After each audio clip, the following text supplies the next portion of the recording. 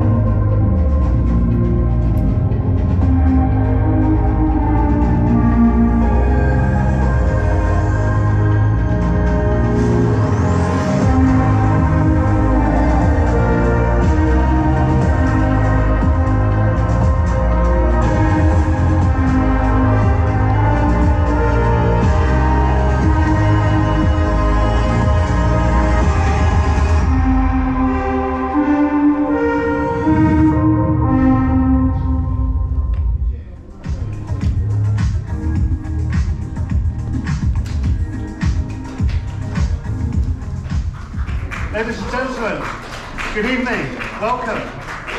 Friends of Motors, Annyeonghaseyo, and welcome. We are delighted to welcome you this evening to the launch of the new Lotus Hyper GT, the Lotus Emeya. Lotus has got a 76 year history of producing exciting, innovative, immersive performance cars. But in those 76 years, only a small number of four door cars have worn the Lotus badge. Today marks another milestone in the expansion of Lotus globally and in Korea. As part of our original Vision 80 strategy, we're very excited to reveal the next car in the Lotus portfolio, and it's another one with four doors. Emeya is a stylish, high-performance electric vehicle with a large range and advanced technology. It's also one of the fastest electric GTs in the world, with acceleration of 0 to 100 kilometers an hour in under 2.8 seconds. It really is phenomenal. In a moment, we're going to take the covers off, and my colleague at the front here, Ben Payne, who's Vice President of Lotus Design, will talk you through why this car really is so special. But before then, I'd like to take a very brief moment to recognise some of Lotus's recent achievements in the last year. So just in the last 12 months, we have broken our annual sales record for any year in the 76 year history of Lotus, and we're set to do it again this year. We've listed as a public company on NASDAQ on Wall Street in New York. Under the direction of Ben and Lotus Design, we presented the Lotus Theory 1 concept to the world, a true expression of our design and technology principles. In network development in my area, and specifically in this region, we've entered new markets including Saudi Arabia, Egypt, and India, and we're expecting to announce another three markets in the coming few months. We've rolled out our new corporate identity across a large part of our network. This fantastic Gangnam facility is the first in the Asia Pacific and Middle East region to adopt this new corporate identity about a year ago to the day. Since then, we've opened new facilities with our new corporate identity in Bangkok, Auckland, Melbourne, Hong Kong, Manila, New Delhi, and two in Kuala Lumpur. This month alone, we are opening new Lotus stores in Riyadh, Cairo, and Doha, and we've got many more projects at design or construction stage. So, in summary, it's been a busy year. It's been a year that has seen Lotus expand, strengthen, and develop, and there's only more to come. That's it from me. It's time to show you what you've come here to see, the Lotus Emeya. Kamsahamnida. Thank you.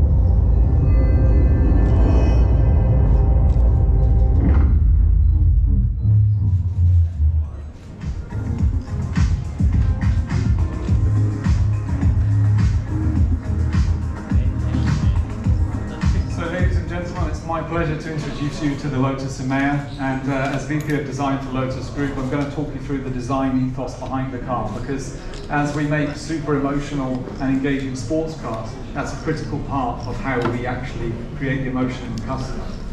All of our designs start from a very simple gesture, and on the screens around me you can see some of the sketch work that began very manually to create this car. So even in the age of all the intelligent systems and the digital capabilities we have today, emotional products like a Lotus vehicle still start from a simple hand-drawn gesture, straight from the mind of the creative uh, designer.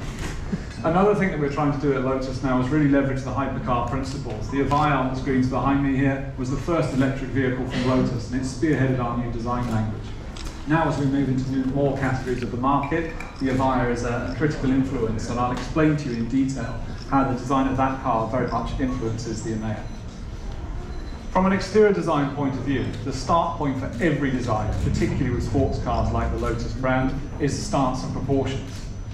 So in detail, how we put the car together and how the stance is, is influencing design is the, the critical thing.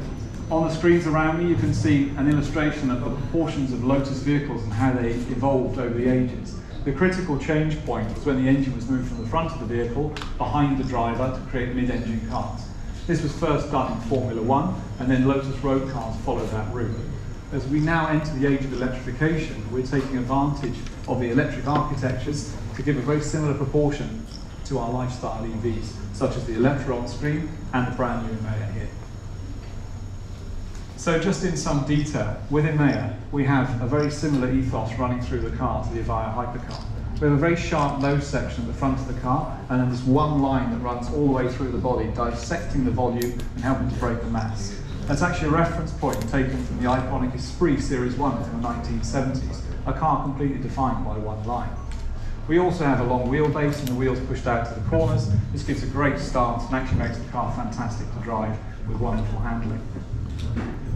There's a very cab-forward silhouette to the car, so again, that mid-engine look comes to lifestyle products and it's very unique in the E-segment luxury vehicle space.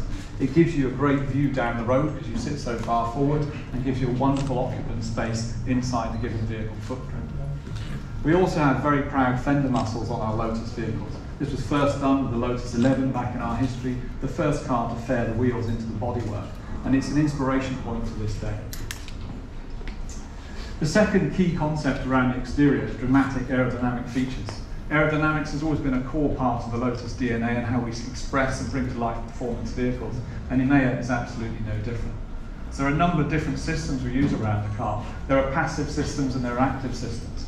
Some of the passive aerodynamics is this concept of porosity we have.